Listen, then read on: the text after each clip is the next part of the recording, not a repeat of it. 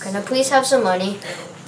No, but you want to go to Cali sometime? I mean, we are we. We want to go to Disneyland sometime. We are we are in Cali. Vince, what you been doing here? This is my friend, nice guy. Alright, I'll come tomorrow. Bye. Are you ready, kids? No. I can't hear you. No. No.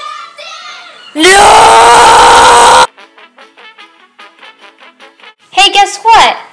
Kobe just pranked Sam by pretending to die. Wow, that must have been so hilarious. Yeah, and you want to know what else? Elton also pranked Corey by making him rage quit on Rocket League. What? Elton did something like that? He's gone too far. I'm unsubscribing. We have to do it. It's on the board. Well, who agreed to get the board? We both did. Oh, yeah.